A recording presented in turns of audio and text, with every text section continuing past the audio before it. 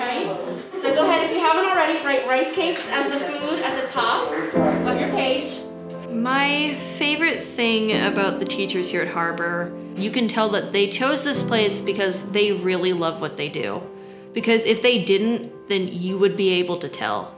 People look at a kid with a disability and they say the child doesn't have a future.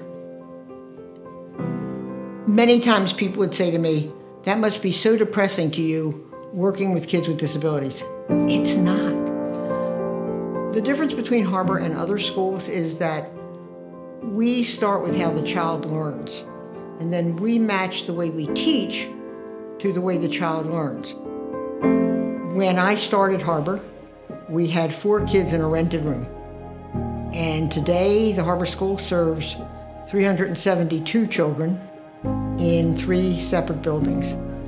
Over 500 kids have received high school diplomas from Harbour, and many of them would not have been able to were it not for Harbour School. This building, the Career Center, was our original school after we moved out of the rented room. And the building has not had a major renovation since then. The Lids Foundation came to our rescue with a major contribution. So we have a broadcasting studio, we have a commercial kitchen, uh, we have a wood shop and building maintenance shop, uh, we have a landscaping and horticulture shop, and we have a design services shop.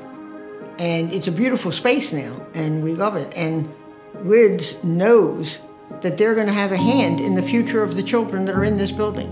Lids was very excited about partnering with the Harbour School and their Career Center. A Career Center at a special needs school gives kids job skills that are important for them to be a part of their society.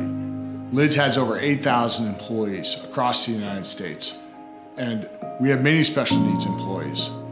The Harbor School teaches those individuals how to be a productive part of their society and community. My social emotional health has never been better. My academics have drastically improved, and I actually have friends, so which is a new thing for me.